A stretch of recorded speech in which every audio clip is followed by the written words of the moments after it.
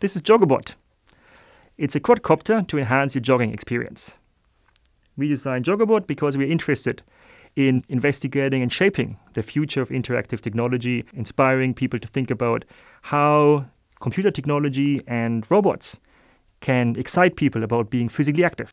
The design of Joggobot came about by investigating how people jog. We found out a lot of people jog with other people. It's a very social activity. People jog with dogs. People jog with um, personal trainers. And um, we realized there's something towards exercising with others. And we thought, okay, so what if you don't have anybody, a partner to run with?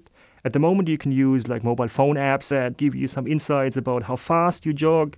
So it's all performance oriented, but not so much experience focused. So we thought maybe we can export the experience of jogging with others, and robots like a quadcopter can enhance that experience of jogging with others. So yeah, so we designed Joggobot as a way to investigate what it would be like if you jog with a flying robot because a lot of robots are initially designed to do tasks that we don't want to do, right? Or tasks we can't do, like vacuuming uh, my home or um, exploring the surface of Mars. Here, it's a different view on robots where robots become companions to being physically active. And we believe physically active involves the body, and therefore the interactive system should also have a body. And we believe through that body, you engage in a different relationship with that robot. So, what we've seen so far, and just preliminary results with people jogging with Joggobot, is that they um, called it she or he, right? So they created a different relationship with the system. And of course, we initially thought, you know, this is limited battery life. Um, it doesn't work in the rain. It doesn't really work well in wind either.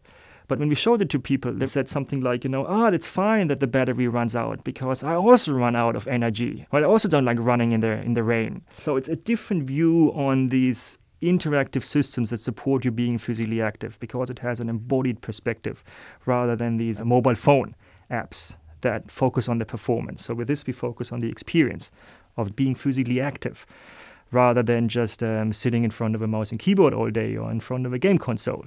And it goes back to philosophies that recognize that our perceptions are active perceptions.